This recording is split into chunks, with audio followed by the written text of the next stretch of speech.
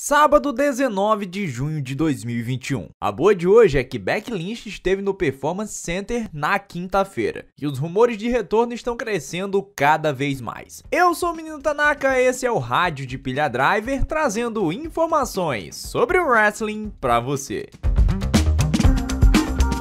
Tá chegando, pessoal. Beck Lynch, ex-campeã feminina do Raw e do SmackDown, esteve no Performance Center como parte do processo de retorno aos rings pela empresa após dar à luz a filha dela com Seth Rollins em dezembro de 2020. A informação foi passada em primeira mão pelo P-Dub Insider. O jornalista Mike Johnson afirma que a lutadora é considerada como uma carta na manga para o SummerSlam, sendo a grande atração que combinará com o clima que será criado para o Vale destacar que durante a realização da WrestleMania, os Estados Unidos ainda não estavam com uma abertura tão grande por conta da pandemia da Covid-19 e a quantidade da população que estava vacinada. Um cenário que já é diferente e faz com que a empresa planeje que o SummerSlam seja um evento tão grande quanto foi o WrestleMania. A última vez que a Becky Lynch esteve na programação da WWE foi em maio de 2020, quando ela anunciou que o Raw Women's Title ficou vago. Naquela clássica promo em que ela disse que a Asuka poderia se tornar uma guerreira porque ela iria se tornar uma mãe. Um segmento reverenciado e considerado como de uma sensibilidade muito grande. Desde então, muita coisa mudou, mas a expectativa para um retorno segue muito grande, principalmente em tempos de tanta dificuldade para os plantéis femininos das brands da WWE. No mês passado, o presidente da WWE, Nick Khan, disse que tanto a Becky Lynch quanto a Ronda Rousey retornariam à empresa muito em breve. E se falava até que a Becky Lynch apareceria de surpresa